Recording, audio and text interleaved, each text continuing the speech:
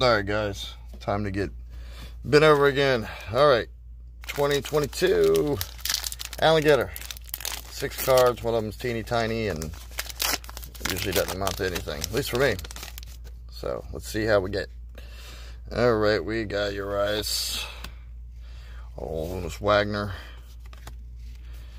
Hap. A NL Cy Young Award.